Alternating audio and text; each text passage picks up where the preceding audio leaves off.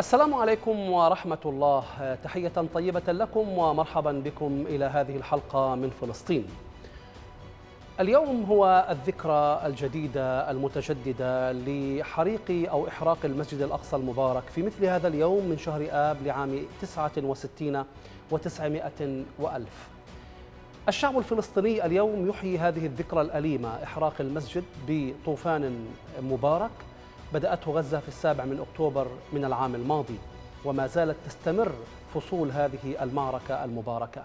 لكن ثمة مناطق وجغرافيا وقطاعات من الشعب لم تشارك بعد في هذا الطوفان وفي إحياء هذه الذكرى.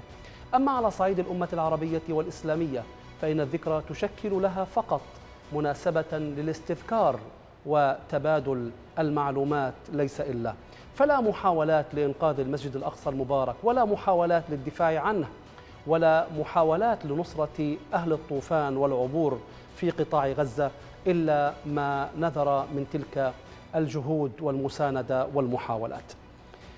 نطرح مجموعة من الأسئلة في هذه الحلقة. تتعلق بالأساس في هذه الذكرى من ناحية وفي الموقف المتعلق بتطورات المعركة, المعركة الدائرة منذ عشرين يوما بعد المئة الثالثة على التوالي. لماذا ينقلب الاحتلال الصهيوني مرة بعد مرة على المبادرات السابقة لوقف إطلاق النار؟ كيف ترد وتتعامل المقاومة الفلسطينية مع هذه المماطلة والتهرب الصهيوني والإدارة الأمريكية للمفاوضات من لوقف إطلاق النار؟ وهل تتحول أو يتحول الأمر من إدارة للمفاوضات إلى إدارة للصراع. وما مضمون الموقف الأمريكي وحقيقته تجاه الكيان الصهيوني؟ ولماذا تفشل أمريكا في الضغط على الكيان من أجل لجمه ووقف هذه الحرب حرب الإبادة الجماعية؟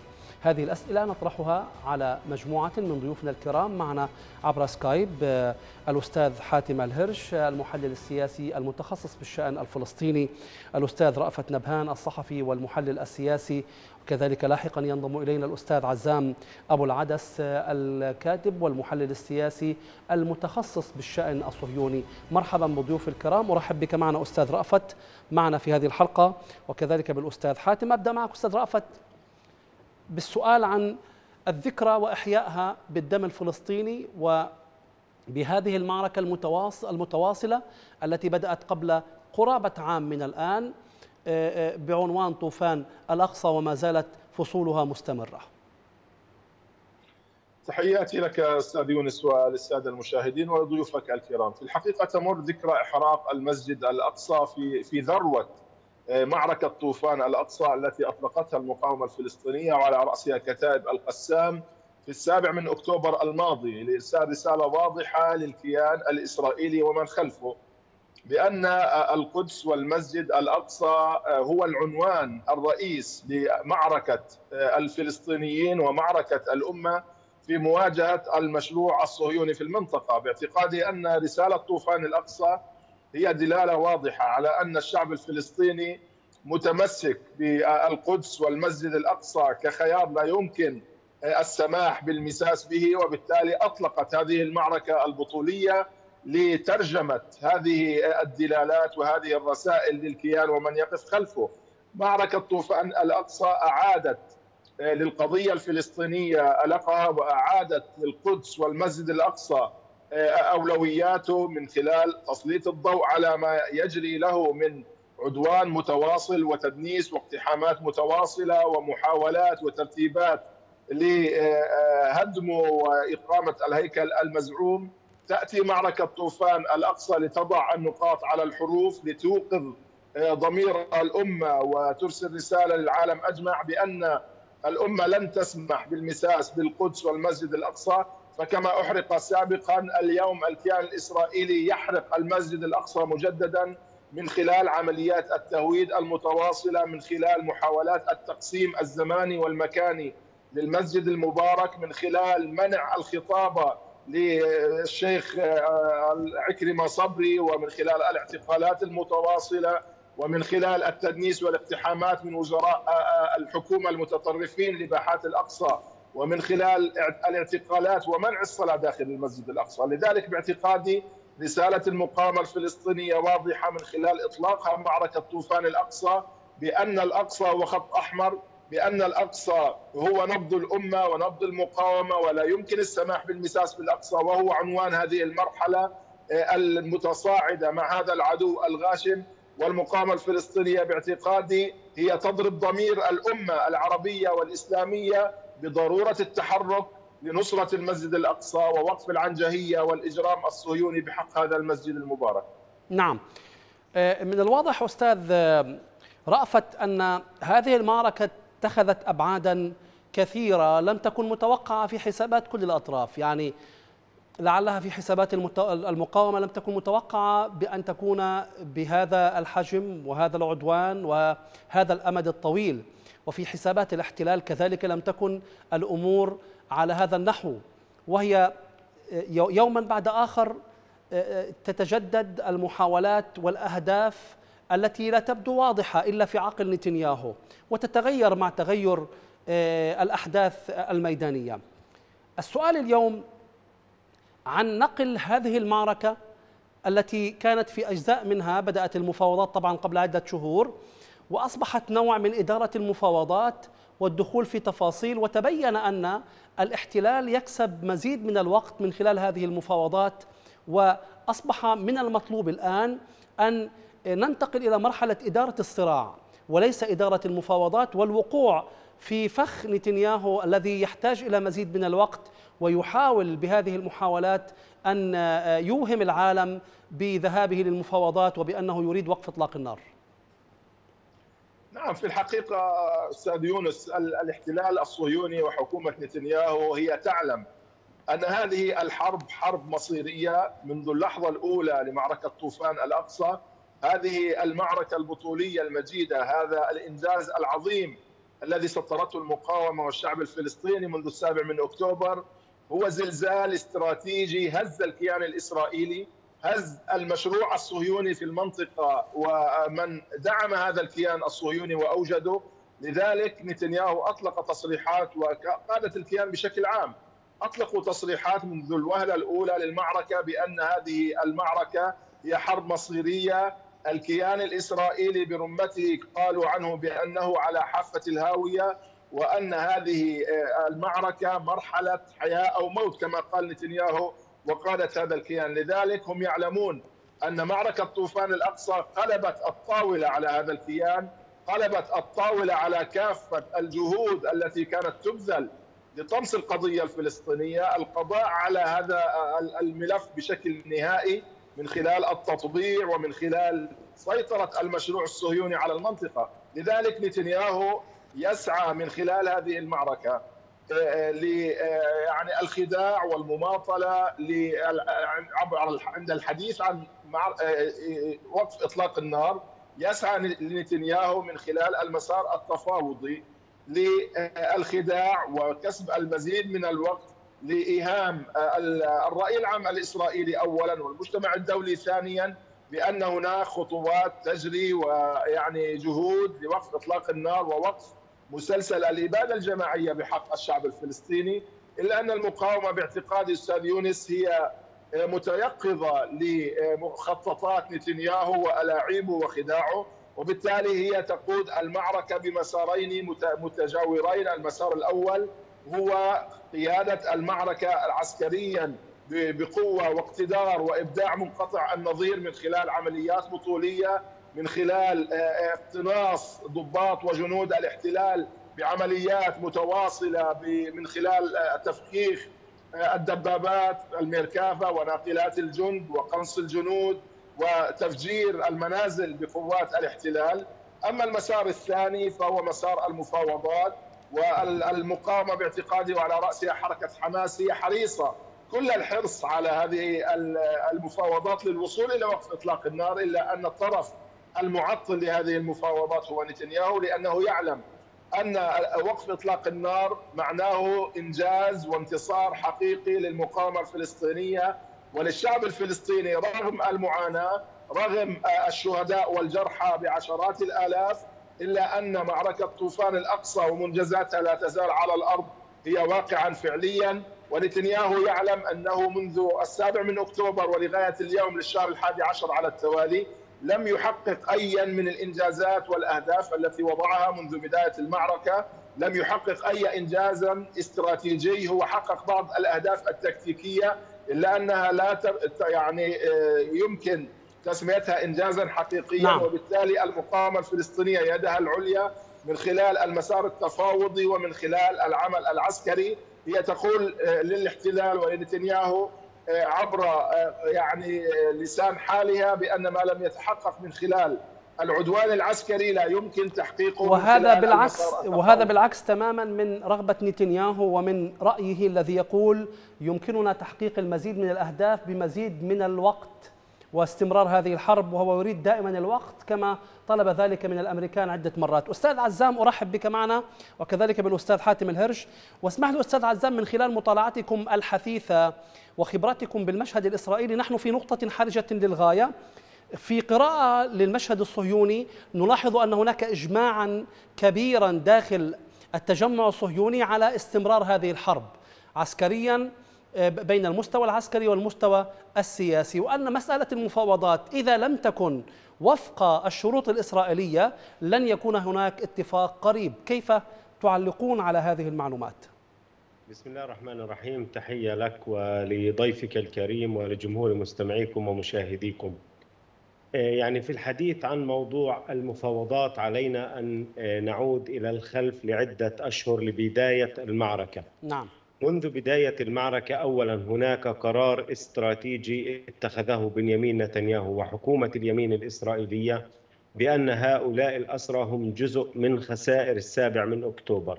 وهذا ما رددناه وقلناه أكثر من مرة. ولذلك يعني من البداية استبعدنا أن يكون هناك اتفاق. هذه هي المسألة الأولى. المسألة الثانية. إسرائيل مستعدة للتضحية بعشرة آلاف جندي قتلى. ونصف اقتصادها في سبيل أن تربح هذه الحرب وأن تنتصر نصرا قاطعا لا يقبل الجدل. هذه الحرب ما ذاك ما, ما ذلك النصر القاطع أستاذ عزام الذي يفكر به نتنياهو ويردد دائما المطلق المطلق ماذا يقصد؟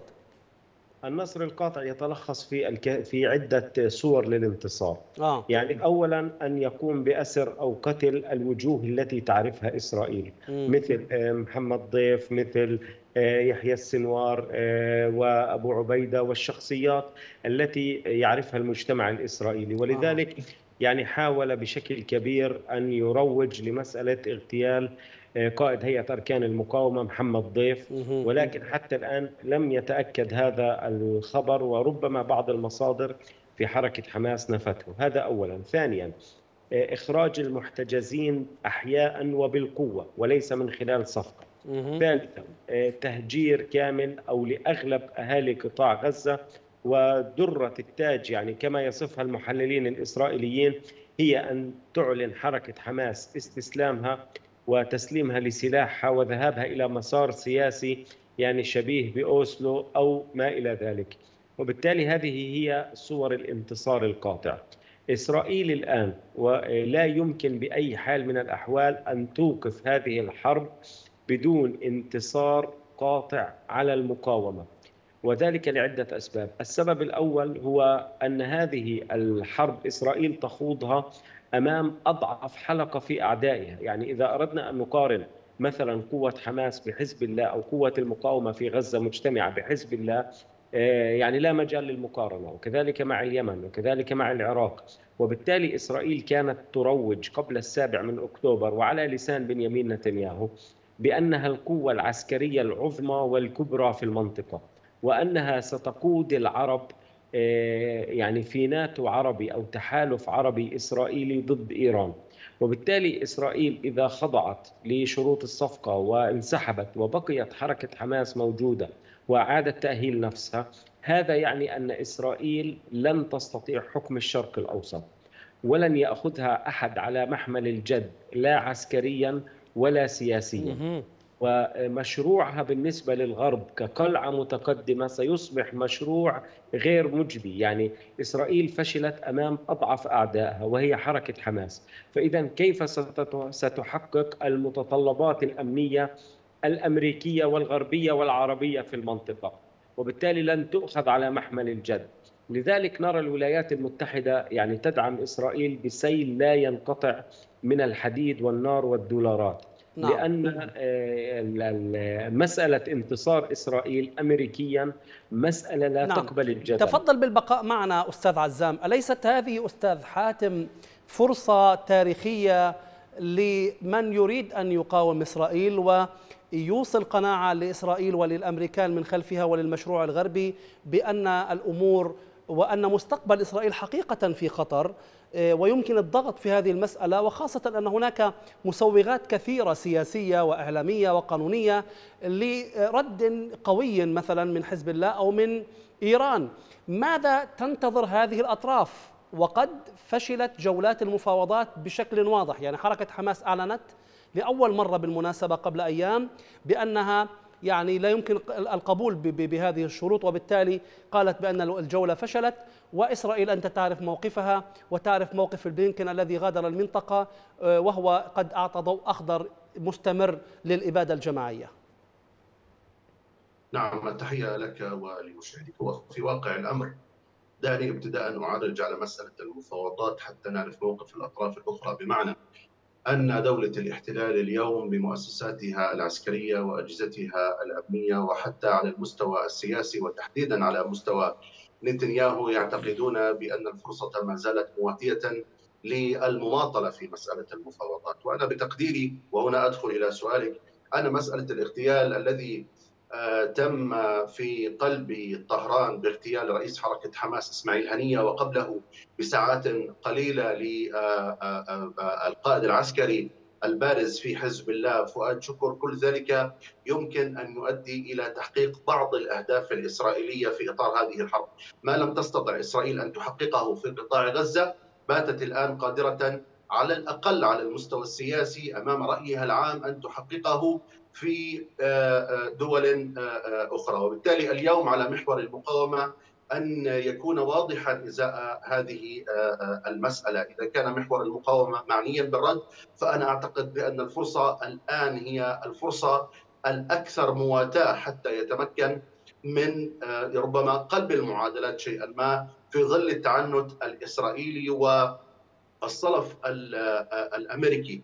نحن رأينا في جولة المفاوضات الأخيرة كيف أن بلينكن يقول بأنني استمعت إلى نتنياهو وأن نتنياهو موافق على الصفقة وأنني أتمنى على حماس أن توافق على الصفقة، أي لغة هذه التي يطرحها بلينكن وتطرحها الإدارة الأمريكية، نحن رأينا الانقلاب في الموقف الأمريكي والتراجع عن مبادرة بايدن التي طرحها في 31 أيار مايو ثم لاحقا قرار مجلس الأمن 27 35 الذي طرح في يونيو تموز. وبالتالي اليوم ثمة انقلاب أمريكي ثمة تصرف وتعنت إسرائيلي وكل ذلك لأنه يتم الاستفراد بقطاع غزة دون أي تحرك على أي أطر أخرى، أنا أعتقد بأن على محور المقاومة أن يكون واضحا في مسألة الرد، الا يعلقه بمسألة المفاوضات، نحن نرى أن هناك تصريحات متضاربة من الجانب الإيراني ساعة يقولون بأنه ربما أن هناك فرصة المفاوضات حتى يبرز عنها شيء أو أن يخرج عنها شيء. وبالتالي ربما أن الايراني يفكر بأنه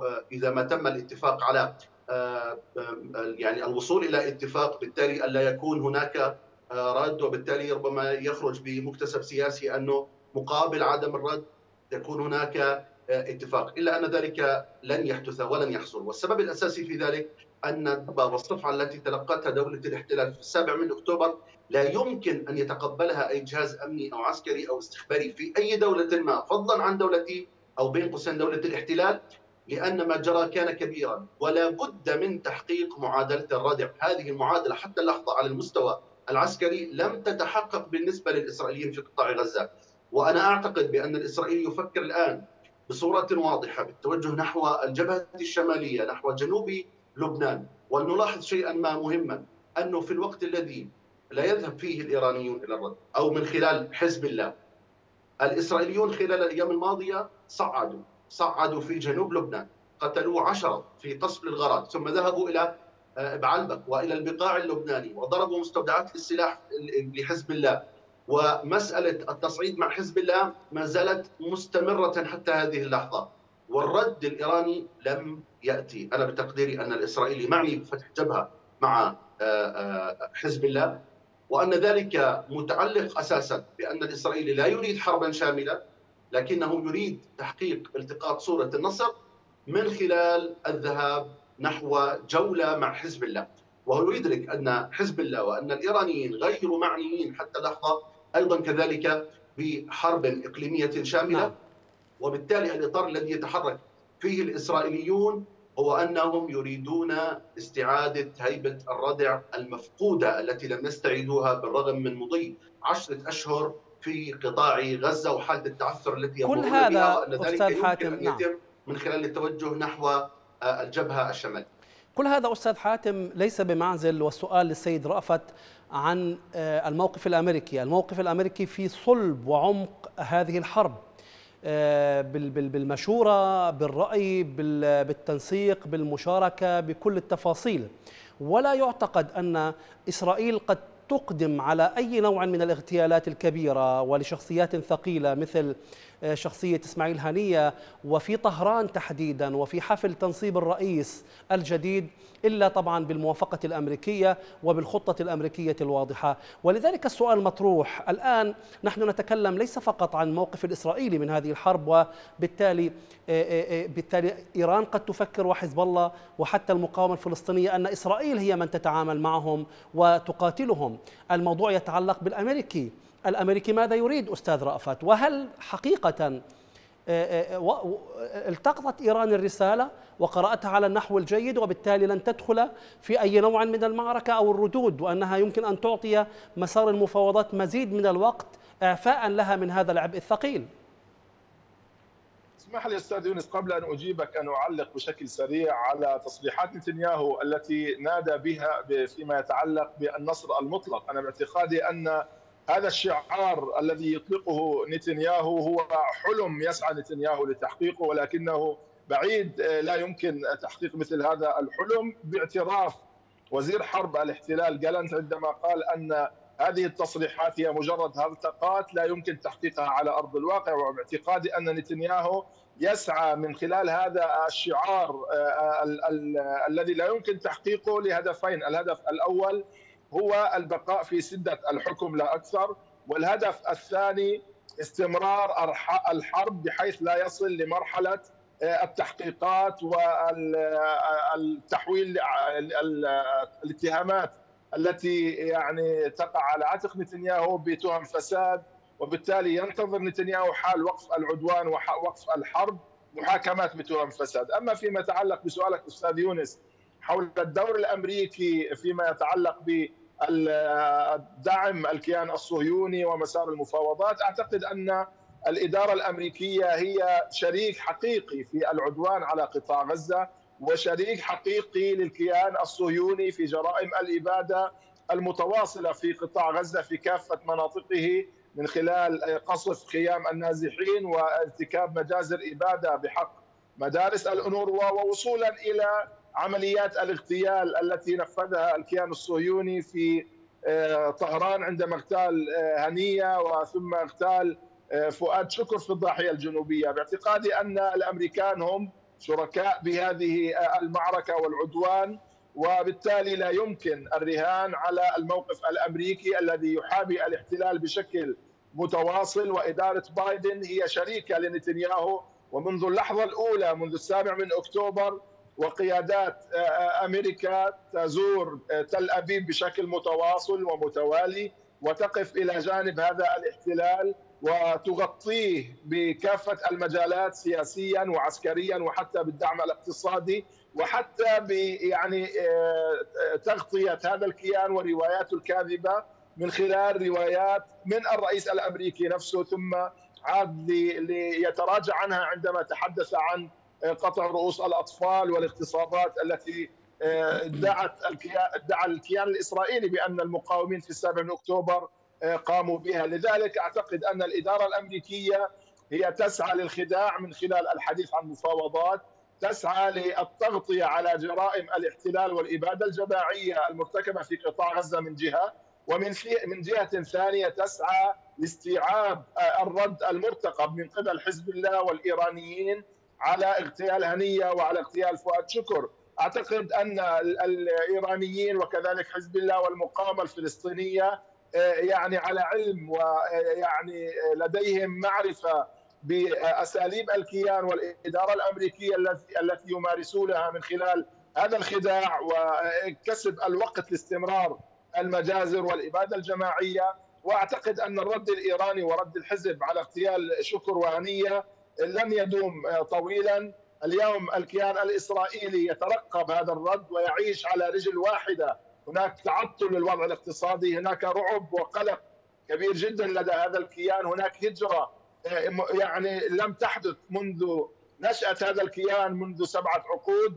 هناك أكثر من مليون مهاجر هاجر من الكيان الإسرائيلي وفقا لصحيفة معاريف العبرية. هناك أكثر من 65% من الإسرائيليين يعني يترددون على السفارات للحصول نعم. على جنسية مزدوجة والهجرة من هذا الكيان بفعل معركة الطوفان المباركة واعتقادي الأيام القادمة ربما نعم. هي حبلى بالردود من قبل المقاومة من محور المقاومة على إبادة الاحتلال نعم. والرعاية الامريكيه هذا هذا أحد السيناريوهات المتوقعة لكن هناك دائما سؤال عن الوقت متى يحين ذلك أستاذ عزام؟ ولا سيما أن هناك تطورات خطيرة على صعيد الأوضاع في قطاع غزة، لم تعد هناك منطقة إلا وجرى اجتياحها وجرت فيها عمليات عسكرية، قبل ساعتين جرى إلقاء أوامر لإخلاء مناطق في المحافظة الوسطى، نحن نتكلم عن قطاع يعني مدمر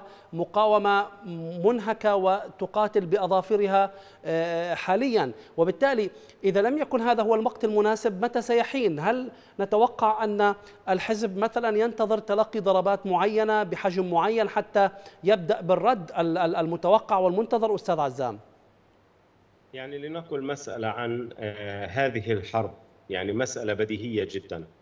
كلا الطرفين لا يريد هذه الحرب لكنه مضطر إليها اضطرارا ويساق إليها سوقا نعم. وهذا ما يجب أن نفهمه إسرائيل تدرك بأن الحرب ستكون مدمرة وأنها إذا بدأت لن تنتهي خلال أشهر وربما سنوات وقبل قليل يعني وفي أثناء بث هذا اللقاء يعني كان هناك خبر بأن قائد كبير في السلاح البر الإسرائيلي تحدث لسكاي نيوز العربية وقال بأن بأننا على وشك أن نشهد تغيير في حدود لبنان مع إسرائيل بين قوسين وأن هذه الحدود لن تكون كما كانت قبل هذه الحرب.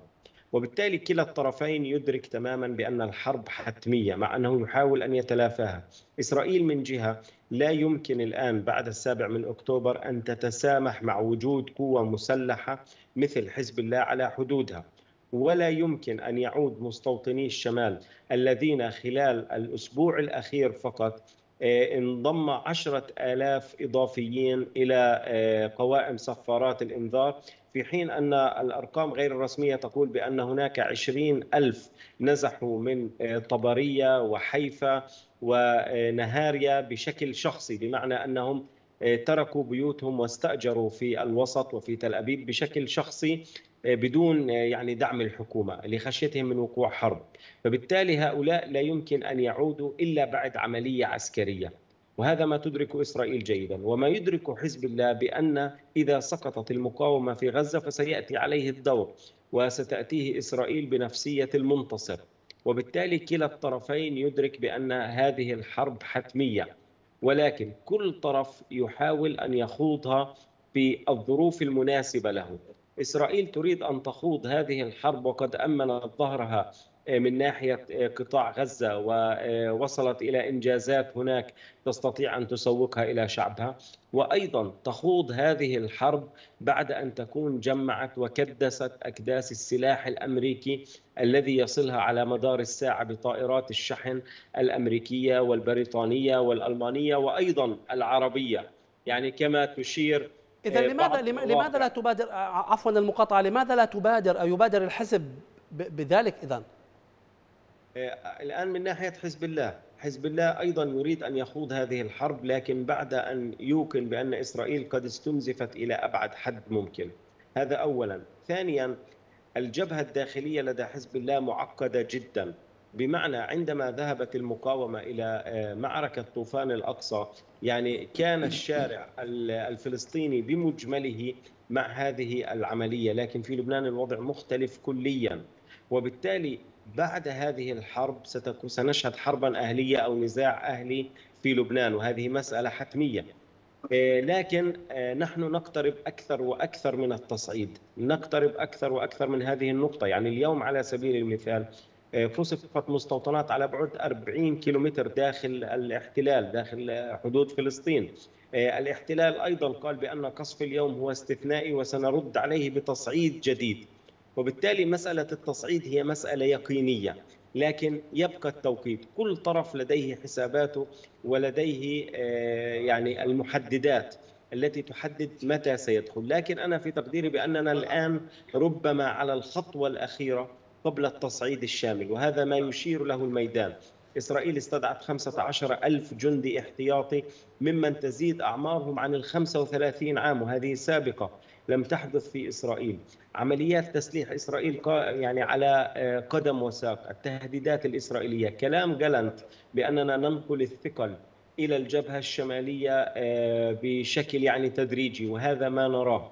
وبالتالي مسألة التصعيد أصبحت أقرب إلينا من أي وقت آخر. أنا في تقديري آه، حزب الله لديه استخبارات قوية ولا يستهان بها في رصد الاحتلال وهذا ما أثبتته عملياته. ربما في اللحظة التي يتشكل فيها الانطباع لدى حزب الله بأن إسرائيل آه، آه، يعني اتخذت قرار الضربة الاستباقية وتريد البدء بعملية عسكرية واسعة ربما يبادرها بضربة استباقية هذا من جهة حزب الله. من جهة إيران آه، مسألة الرد الإيراني على اغتيال الشيخ إسماعيل هنية أبو العبد يعني هي مسألة أنا في تقديري مسألة مصيرية بالنسبة لإيران. وإذا إيران لم ترد فهذا يعني أن موقعها سيتراجع وأن إسرائيل ستنفذ الكثير من عمليات الاغتيال وأن آه، ستبدو إيران أضعف وأضعف مما يشجع العرب للانضمام والتكتل حول إسرائيل أكثر. لكن إسرائيل الآن يعني تريد آه، أن تكون الولايات المتحدة الأمريكية حاجز بينها وبين إيران وهذا ما يحدث. أيضا إيران تريد من ضربتها أن تكون ضربة مجدية وهذا ربما صعب جدا مع وجود كل هذه الأساطيل. يعني نحن نتحدث الآن عن آه، ثلث الجيش الأمريكي وهو موجود في المنطقة. نتحدث عن ثلاثة حاملات طائرات غواصتين نوويتين آه، أكثر من 400 طائرة مقاتلة وهذا ما نعلمه. وبالتالي كل هذه القوات بالإضافة إلى القواعد الأمريكية والقواعد العربية كل ذلك جاهز لاعتراض الصواريخ الإيرانية. وهذه الضربة إذا ستكون ضربة باهتة. وبالتالي مسألة الانتظار هي مسألة تحين الفرصة. لكن ما أقوله بأنه في بعض الأحيان السياسي كما يجب أن يكون صبورا ويقيس الأمور بمقياس دقيق جدا وبميزان الذهب إذا صح التعبير عليه أيضا أن يكون مغامرا جزء نعم.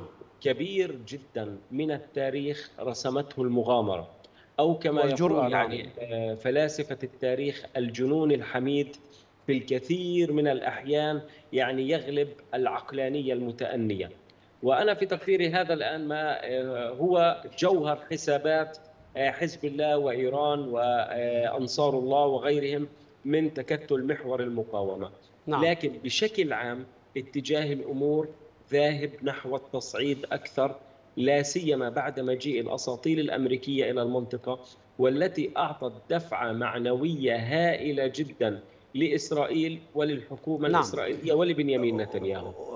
أرجو أن تبقى معي أستاذ عزام، سأعود إليك في سؤال أخير.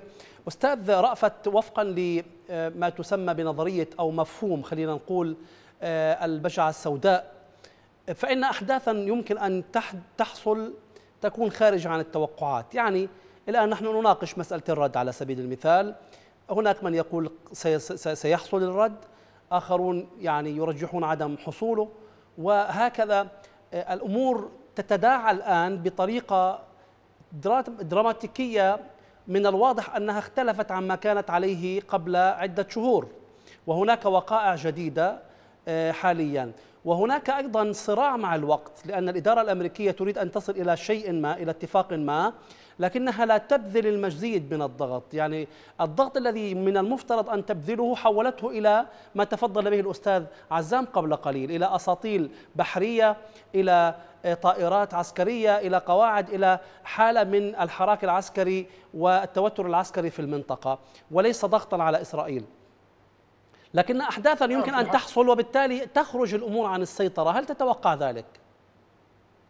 نعم في الحقيقة اليوم حزب الله وإيران باعتقادي هي تؤخر الرد آه، الانتقامي على اغتيال هنية وفؤاد شكر لأمرين أساسيين. الأمر الأول هو الحرب النفسية ويعني آه، في مواجهة الاستنفار الغير مسبوق إسرائيليا وأمريكيا في المنطقة وربما بريطانيا وحلفائهم للتصدي للرد اللبناني والإيراني باعتقادي يواجه ذلك من قبل الإيرانيين ومن قبل حزب الله وحتى أنصار الله للتأني واقتناص الفرصة المناسبة لتسديد الرد بحيث يكون فاعلا ويكون مفاجئا في ذات الوقت. ما ما كما حصل بطوفان الأقصى ما ما جعل معركة طوفان الأقصى منذ انطلاقتها بأنها مذهلة هو موضوع المفاجأة والمباغتة.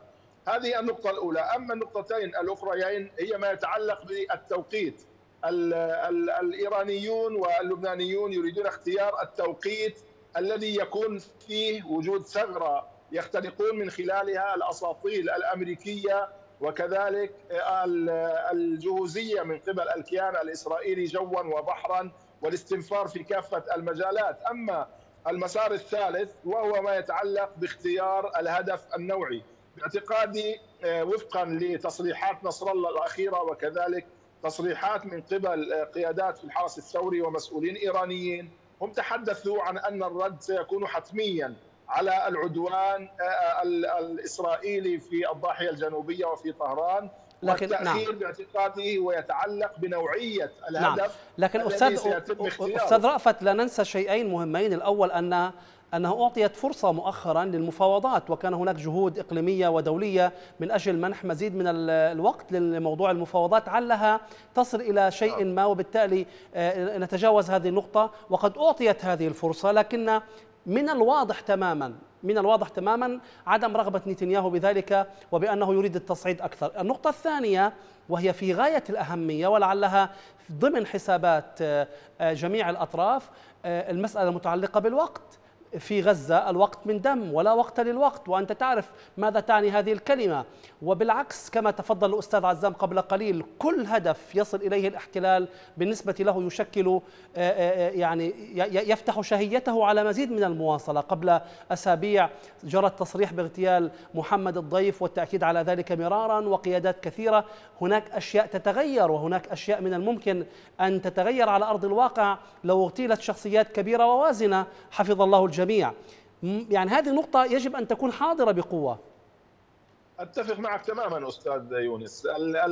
الأمريكان في الفترة السابقة آه، مارسوا الخداع الاستراتيجي فيما يتعلق بموضوع المفاوضات وجولات مكوكيه قام بها بلينكن ومسؤولين أمريكيين للحديث عن مفاوضات. وكان الهدف الرئيس لهذه المناورة السياسية هو امتصاص ردة الفعل الإيراني من جهة وتهديد الإيرانيين بأن أي ردة فعل في ظل الحديث عن مسار تفاوضي يعني أن الإيرانيين هم يتحملون المسؤولية الكاملة عن إفشال هذا المسار.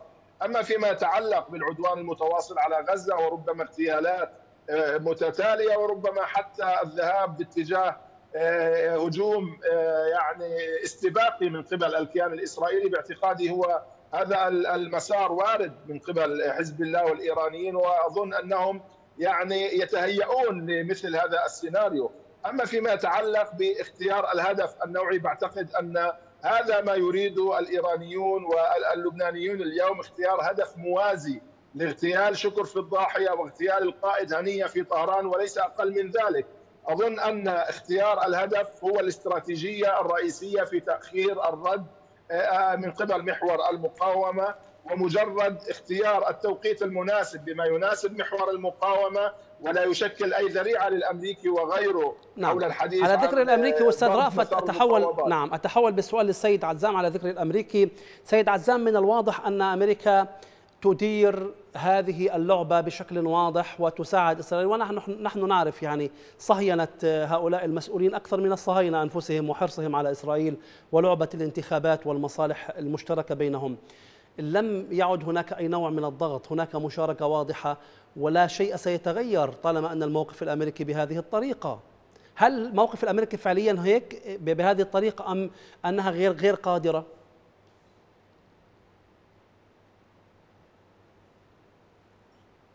أستاذ عزام الصوت لا يصلنا لعل الصوت مغلق. تفضل. إيه، نعم. هل تسمعني الآن؟ الآن أسمعك بوضوح تفضل. نعم.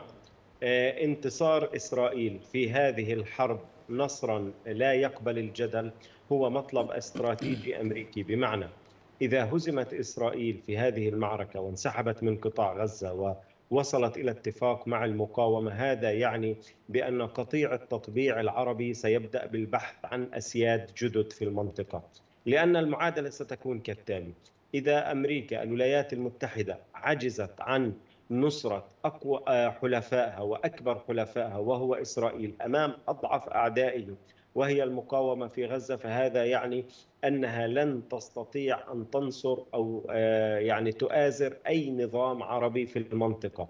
هذا يعني بأن العصا الغليظة التي آه، تهدد بها أمريكا المنطقة وهي إسرائيل تكون قد كسرت كسرا لا جبر بعده. وبالتالي الولايات المتحدة منذ بداية هذه الحرب هي طرف أصيل. وأنا في تقديري الأطراف كلها الآن بدأت تدرك ما يلي. هو أن من ينتصر في هذه الحرب سيحكم الشرق الأوسط لمئة عام قادمة. وهذه مسألة لا جدل فيها. هذا ما أشار إليه السيد حسن نصر الله في خطابه الأخير. آه، وإذا أردنا أن نقارن بين خطابيه الأول أول خطاب عندما تحدث أن لبنان جبهة إسناد بينما الخطاب الأخير عندما قال بأن هذه حرب وجودية ومصيرية وسيبنى عليها مستقبل الأمة إذا كنت تذكر خطابه الأخير. هذا نعم. يعني انه في ال ال ال ال الوعي الاستراتيجي. هذا يعني أنه في الوعي الاستراتيجي آه، لمحور المقاومة ولإسرائيل كلا الطرفين والولايات المتحدة الأمريكية يدركون تماما بأن هذه الحرب سيبنى عليها كل مستقبل المنطقة.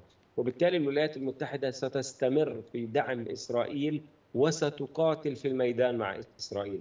وربما لا أبالغ إن قلنا بأنه سنرى أيضا جيوش عربية تقاتل مع إسرائيل في معركة كبرى. وهذه مسألة لم تصبح بعيدة. والحديث الآن يدور عن حرب آه، لا تقبل القسمة على اثنين لا يوجد فيها جوائز طردية. هذه الحرب إما أن يكون فيها منتصر واحد وإما ويكون فيها خاسر واحد. فقط لا غير لا يوجد فيها ماذا عن القوى العالمية أستاذ عزام؟ هل ثمة توقع بدخول قوى عالمية بشكل أو بآخر؟ سمعنا مؤخرا عن بعض الصواريخ أو أو المنظومات التي وصلت لإيران من روسيا مثلا. يعني الوضع العالمي الآن إذا أردنا أن نتحدث من ناحية كبرى ومن ناحية استراتيجية هو أقرب ما يكون لما كان عليه العالم غداة الحرب العالمية الأولى وغداة الحرب العالمية الثانية. لدينا أزمتين في مكانين استراتيجيان في العالم في قلب الشرق الأوسط وفي قلب أوروبا الشرقية وقريب على حدود أوروبا الغربية وهي أوكرانيا. لدينا أيضا الصين تسابق الزمن للسيطرة على تايوان لأن الولايات المتحدة الآن تنسج حلفا عظيما حول الصين وطوق سيخنق الصين إلى الأبد. وبالتالي الآن كل طرف بدأ بتجهيز أوراقه لمواجهة كبرى.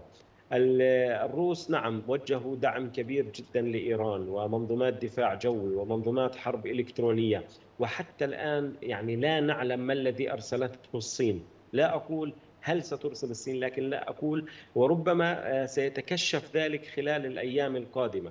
وبالتالي الأطراف كلها الآن أدركت بأنه يجب حسم النظام العالمي وتغيير شكله. الولايات المتحدة الأمريكية كإمبراطورية عظمى ستحافظ على عرشها بالحديد والدم والنار وستخوض قتالا عظيما في سبيل الحفاظ على مكانتها. لكن وضعها الاقتصادي والعسكري والاجتماعي لا يؤهلها للانتصار. ويعني يطول الحديث في ذلك بينما القوى الصاعدة وهي الصين وروسيا وإيران وحولهم محيط إقليمي تابع لكل دولة يريد أن يغير شكل النظام العالمي. وبالتالي آه، لم يعد الأمر آه، نتحدث فيه عن غزة ولم نعد نتحدث عن أوكرانيا إنما أصبحنا نتحدث عن العالم بأسره. وبالتالي آه، يعني عطفا على كلامك بأن الوقت في غزة وما يحدث في غزة قريبا جدا غزة ستصبح جبهة ثانوية. هذا اولا وهذا واضح جدا. ثانيا مركز الثقل في الصراع سينتقل إلى القوى الإقليمية والقوى العالمية. آه، ثالثا هذه الحرب ستكون طويلة جدا ودموية جدا في المنطقة وفي العالم. وبالتالي آه، نحن سنكون آه، يعني على وجه صراع سيمتد لسنوات. فلا مكان هنا للحديث عن الوقت والحديث عن الزمن والحديث عن الخطوات لأن ما هو قادم وهذا بحسب الكثير من المحللين والسياسيين والاستراتيجيين يعني نحن أمام آه، عشرية ربما عشر سنوات ستغير كل نعم. وجه النظام العالمي بالكثير من الدم والأشلاء والحديد والنار والحروب فبالتالي يعني آه، نعم. الحديث. الآن أصبح يدور عن حدث أكبر بكثير من شكرا. الطوفان شكرا أستاذ عزام أبو العدس الكاتب والمحلل السياسي المتخصص في الشأن الصهيوني. أشكرك كنت معنا في هذه الحلقة. سؤال أخير أستاذ رأفت إذا نحن بتلخيص لما جاء في الحلقة أمام آه، إدارة للصراع في الفترة المقبلة وليس إدارة مفاوضات. تجاوزنا مرحلة إدارة المفاوضات وهذا الملف التفاوضي هو جزء من إدارة الصراع وليس ملف يسيطر على المشهد وعلى الحرب الدائرة الآن لأن إسرائيل تريد هذا الملف في سبيل كسب مزيد من الوقت خداع العالم والوصول إلى أهداف أخرى. كيف يمكن أن يدار هذا الصراع وتدخل فيه معادلات أخرى مثلا محلية؟ اليوم نتكلم عن الضفة الغربية المحتلة وقرار عودة العمليات الاستشهادية نتكلم عن يعني القدس عن مناطق 48 مثلا. نعم أعتقد أستاذ يونس أن الواقع اليوم خلال معركة طوفان الأقصى بحاجة لفرض معادلات جديدة على هذا الكيان الصهيوني الذي يمارس الإبادة الجماعية من خلال الإجرام المتواصل بحق المدنيين بحق الأطفال والنساء. وأعتقد أن هذه الجرائم والإبادة من خلال التغطية الأمريكية ومن خلال الصمت والتواطؤ الدولي وللأسف العربي والإسلامي من قبل الأنظمة العربية بحاجة لفرض معادلات جديدة. اولا فلسطينيا من خلال تفعيل آه، المقاومة الفلسطينية بشكل شامل في الضفة الغربية وهو أعتقد وجود تحول في هذا الإطار من خلال آه، قرار قيادة القسام منذ أيام بتفعيل العمليات الاستشهادية بعد عملية تل أبيب الأخيرة. هذا جانب مهم بفرض معادلة جديدة للضغط على الاحتلال لإجباره على وقف هذه الجرائم. أما المعادلة الثانية باعتقادي هي متطلب من قبل محور المقاومة ومن خلال آه، حزب الله تحديدا ومن خلال الإيرانيين وأنصار الله أعتقد أن فرض آه، المعادلات الجديدة من قبل الإيرانيين سيكون من خلال الرد على اغتيال هنية رد نوعي من خلال اصطياد هدف استراتيجي ربما نعم. وزير ربما مسؤول عسكري إلى آخره ثم يترك المجال لحزب الله وأنصار الله للشروع في حرب موسع مع هذا الكيان. لا أعتقد أن من مصلحة إيران وأن إيران تريد حرب شاملة مع مع مع الكيان الإسرائيلي. أعتقد أن الإيرانيين أذكى من ذلك ولن يسمحوا بالذهاب باتجاه حرب كما يريد ذلك نتنياهو الذي يسعى للبقاء في سدة الحكم من جانب وإطالة المعركة إلى أطول حد وإدخال الأمريكان والأوروبيين للحرب الشاملة مع الإيرانيين، إيران ستدفع حزب الله وأنصار الله أنصار نعم. الله للدخول في معركة موسعة مع الكيان لإسناد المقاومة الفلسطينية في غزة وأعتقد أن هذا المسار هو المسار الوحيد الذي شكرا. سيرغم الاحتلال. على وقف مجازره ووقف إطلاق النار في قطاع أشكرك غزة. أستاذ رأفت تبهان الصحفي والمحلل السياسي. شكري موصول لجميع ضيوف الكرام وأشكركم على طيب المتابعة زادنا المشاهدين. هذه تحيات فريق العمل. تذكروا دائما إن ينصركم الله فلا غالب لكم. السلام عليكم ورحمة